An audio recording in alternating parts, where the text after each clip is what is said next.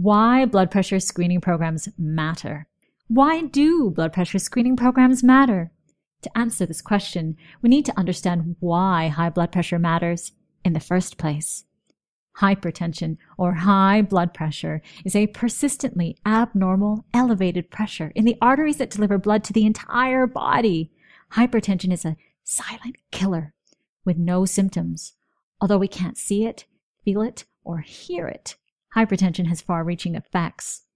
Hypertension affects people all around the world. High blood pressure is now ranked number one as the leading risk factor for global disease burden or death and disability.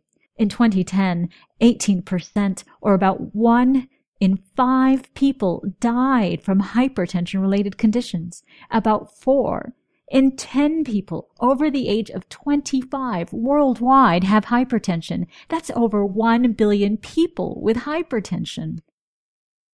Why is hypertension hurting us? Hypertension is a major risk factor for NCDs, or non communicable diseases that can make you sick and disabled. These are diseases such as stroke, heart disease, and kidney disease. It's for these reasons that hypertension is a significant part of the broader global problem of non communicable diseases. Now that we understand the global epidemic of hypertension, what can we do about it? The rising problem of hypertension on this planet means we must help each other. Sadly, up to 50% of people with high blood pressure don't even know that they have hypertension. We can start helping each other by knowing our own blood pressure and helping others to find out if they have hypertension. We can go beyond just helping our friends and families and help whole communities and even our countries by creating blood pressure screening programs. Blood pressure screening programs help measure people's blood pressure using the best technique, which is a standardized technique on validated, automated devices. Why have a blood pressure screening program?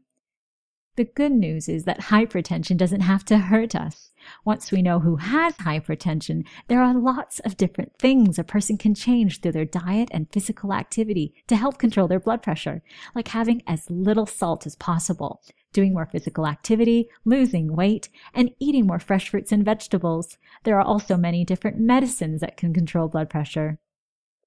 But we can't give medicines to heal until we know who needs them. We can't help people change their lifestyle if we don't know who really needs to make these changes most.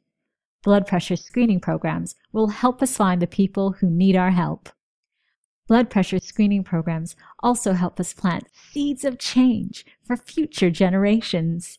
Even for people who are found to have normal blood pressure readings, we can teach them how to keep themselves and their families healthy and help prevent hypertension from hurting our future generations.